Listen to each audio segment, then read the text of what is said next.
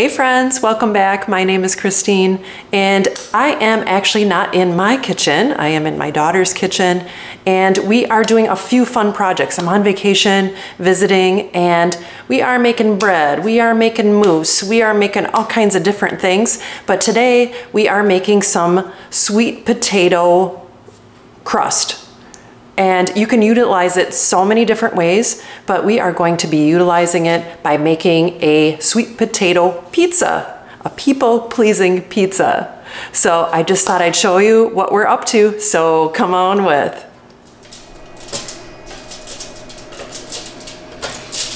Okay, we're putting them in at 425 for roughly 30 minutes or until they're done.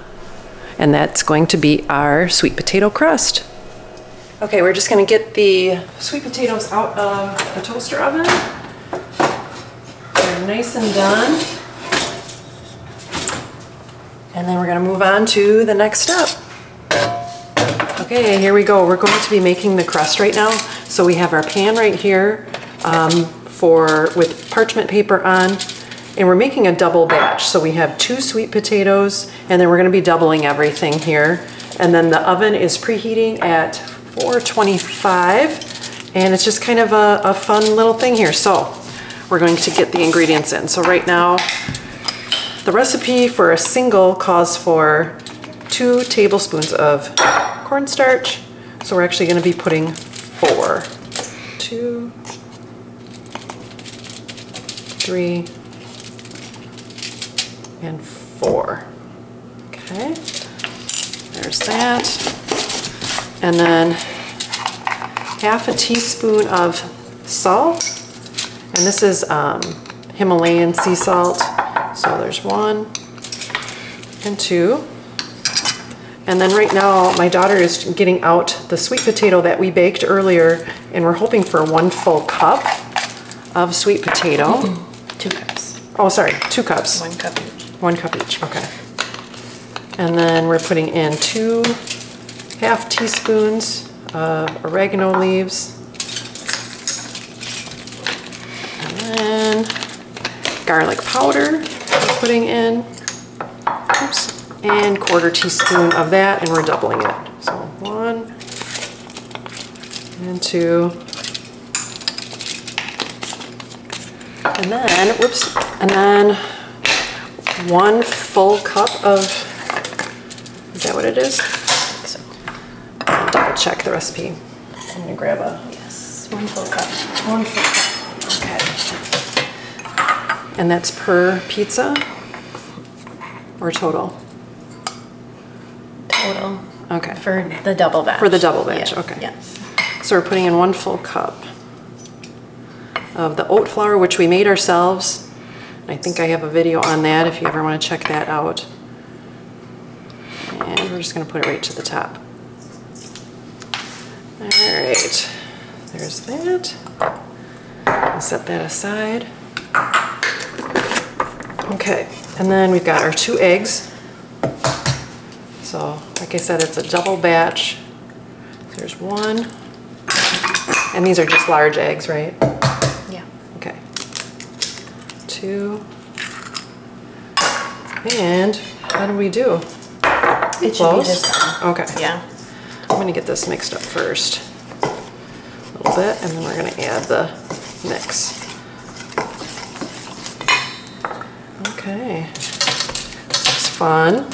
We've made this one other time before, so I was looking forward to getting this recipe out to you guys. I just love it. My daughter is gluten-free, so we always look for alternatives to making pizza. Instead of cauliflower crust, this is gonna be a fun sweet potato crust. And then you can add whatever you like to it. I'm just gonna get this mixed up. Okay, what do you think? Yeah.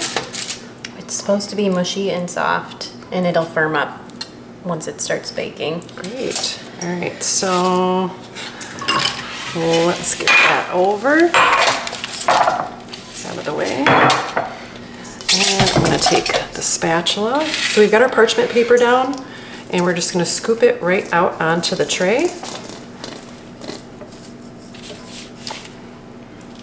Oh boy, paper's moving. All right, and then we're just smooth it out, yeah. right? Yeah. Okay.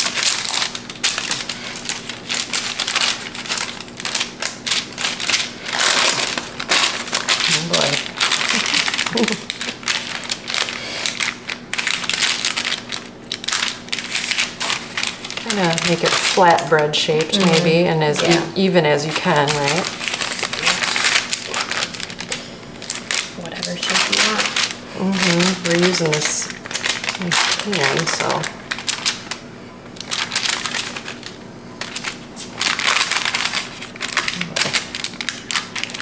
So right now, how long do we cook this then?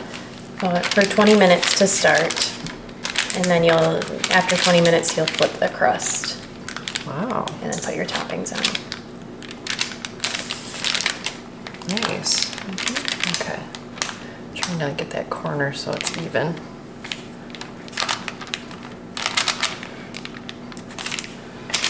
Okay, what do you think? Yep, Looks looks good? good. Okay. All right, I'm just gonna be done. Yes. Right?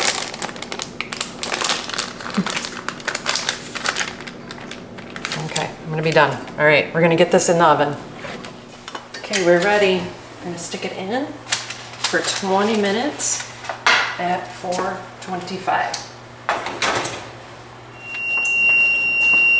Okay, the 20 minutes is done, so we're gonna get this out.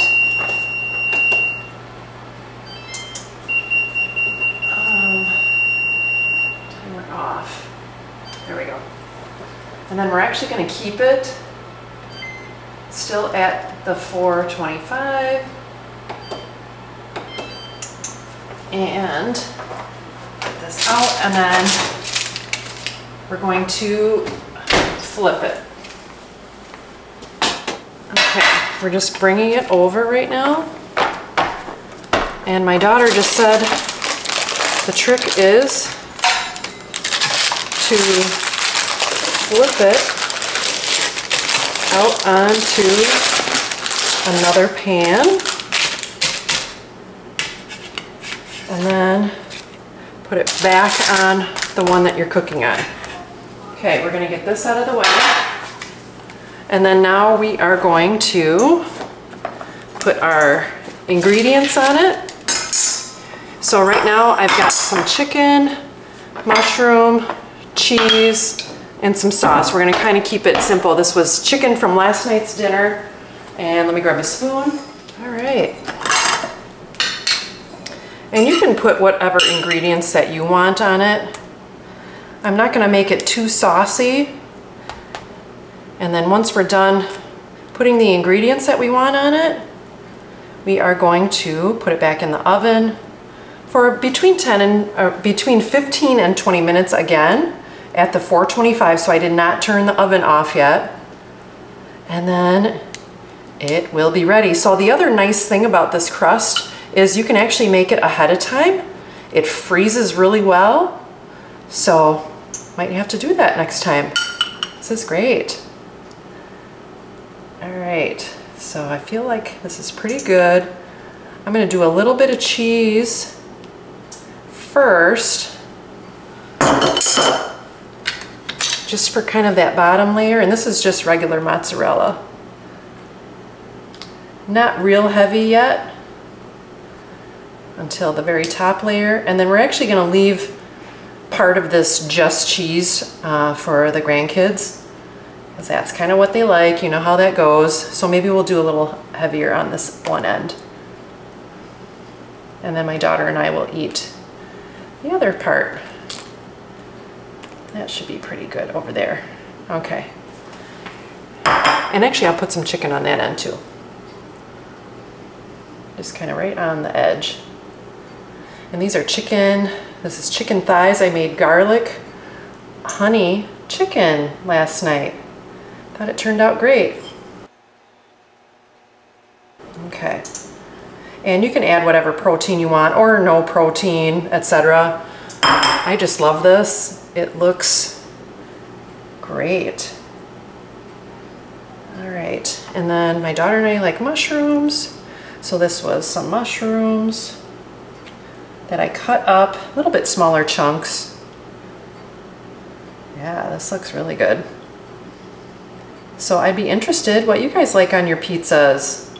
And my daughter, like I said, is generally gluten-free. Just has reaction to it. She doesn't have necessarily celiac disease, but um, why take the chance? You know, you feel better. Oh, wow, this is looking great. All right, and then one more top of cheese on this side, and then I'm gonna pop it back in. Okay, this looks great.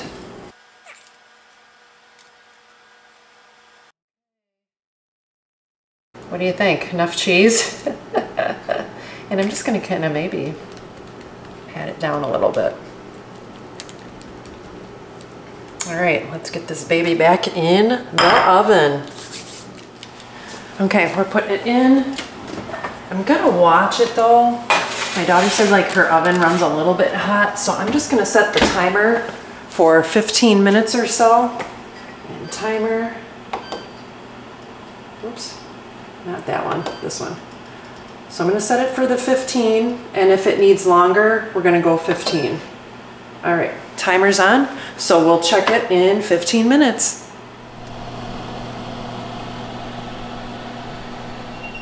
Okay,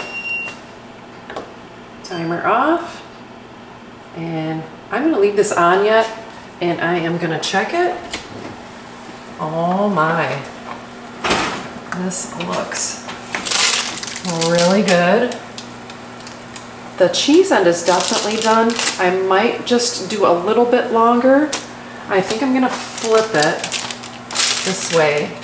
And I'm just gonna do about five minutes more and see if I can get that cheese a little more melted.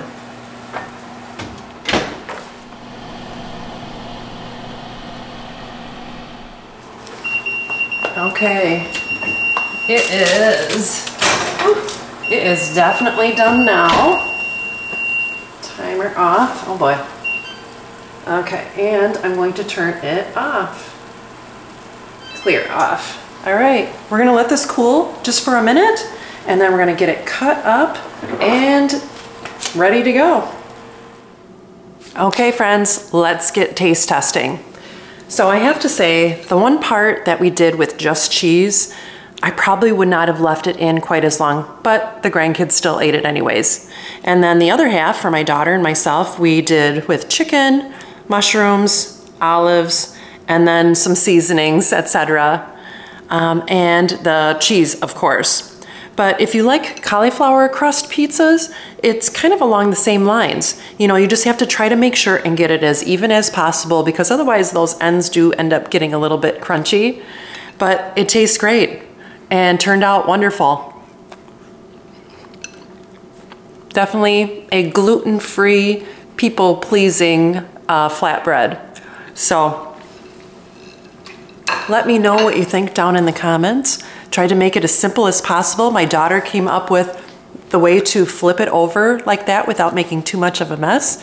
And then making it ahead of time. That makes things, makes life a lot easier when you do it that way. So hope this helped you out. I'm hoping to do a few more gluten-free projects. Just have some gluten-free bread in the background. We're giving that a test taste tonight. So thanks for stopping by my little channel. And if you like videos like this, a little bit random here and there, but we're in a fun different location, I thought that would be fun to do. Thanks for stopping by and I will see you next time on Christine's Routines. Take care and God bless.